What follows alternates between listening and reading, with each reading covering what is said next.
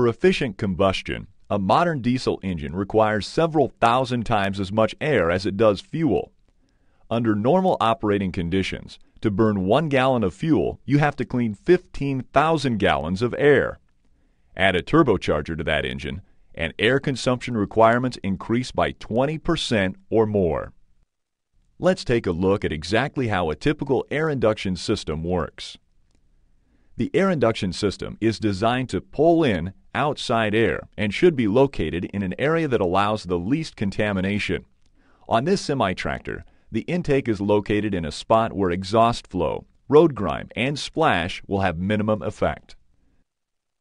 The system of ducting, hoses, and reducers that connect the air intake with the air cleaner requires a different design on nearly every vehicle.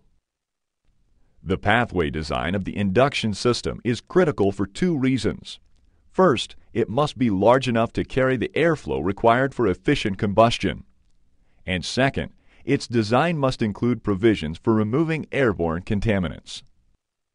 Proper air filtration is important because a small amount of dirt can cause a tremendous amount of engine damage.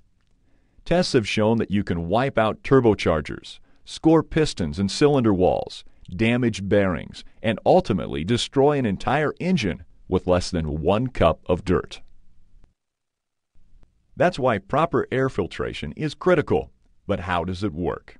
The real muscle in any air filter is the media, or filter paper. A closer look at the media shows a wide variety of different sizes and shapes of natural cellulose fibers. These fibers create a tortuous path through which incoming air must find its way. This is relatively easy for the air itself because its molecules, which have an elastic substance, can bend at will to move through the cellulose web. Not so for the dirt which is carried in the airborne stream. From the time the first particle enters the filter, it must change direction again and again as it tries to work its way through. The path is so difficult that the probability is at least 99.5% that the dirt will become lodged and held in place among the fibers.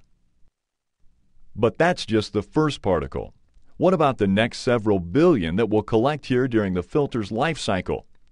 As dirt particles begin to cake up inside and on the surface of the media, it becomes tougher for other particles to get through.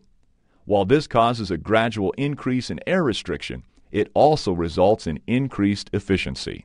When enough dirt has accumulated to cause significant airflow restriction, engine performance is reduced. But until you reach that point, you may be throwing away filters that look dirty but still have many hours of useful life left. We will discuss how to determine when it is the right time to change a filter in the Problems and Preventive Maintenance section.